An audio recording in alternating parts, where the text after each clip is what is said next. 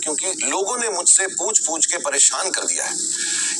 तो फाइनली दोस्तों, ऋतिक रोशन की फाइटर मूवी पर आया बॉलीवुड के किंग खान शाहरुख खान का बड़ा रिएक्शन इन्होंने मूवी को लेकर कुछ ऐसा कहा, जिसके बारे में सुनकर आपका भी दिल खुश हो जाएगा। जी हाँ दोस्तों तो जैसा कि आप जानते हैं, ऋतिक रोशन हाल ही में अपनी फाइटर मूवी को लेकर काफ़ी ज़्यादा चर्चा में बने हुए हैं। क्योंकि भाई, इनकी ये मूवी जल्द ही सिनेमा घरों में दस्तक देने वाली है। मूवी का ट्रेलर और सॉन्ग्स को रिलीज़ कर दिया गया है, जिस पर पब्लिक का काफ़ी प्यार देखने को मिला है। फैंस मूवी के लिए काफ़ी ज़्यादा एक्साइटेड बने हुए हैं, क्योंकि ऋतिक रोशन की काफ़ी समय से कोई भी मूवी नहीं आई है। और अब फाइनली इनकी ये मूवी 25 जनवरी को सिनेमा घरों में दस्तक देने वाली है। इसलिए हर कोई मूवी का काफ़ी ज़्यादा वेट कर रहा है। दोस्तों, अगर बात करें मूवी की एडवांस बुकिंग को लेकर तो विदेशों में तो इसकी एडवांस बुकिंग कुछ दिनों से चल रही थी। लेकिन अब फाइनली इसकी भारत में भी एडवांस बुकिंग जोरों से चल पड़ी है। जिसमें मूवी शानदार कलेक्शन करती दिखाई दे रही है। और अभी मूवी को रिलीज़ होने में काफ़ी समय बाकी है। जिसमें मूवी ज़बरदस्त कलेक्शन करने वाली है। ऋतिक रोशन मूवी के प्रमोशन में जोरों से लगे हुए हैं। ये मूवी के प्रमोशन में कोई कमी नहीं छोड़ रहे हैं। वहीं ऐसे में दोस्तों एक बड़ी खबर निकल कर सामने आई है कि ऋतिक रोशन की इस मूवी पर शाहरुख खान ने अपना रिएक्शन दिया है। दरअसल दोस्तों इन्हें मूवी का ट्रेलर इतना पसंद आया है कि इनका कहना है कि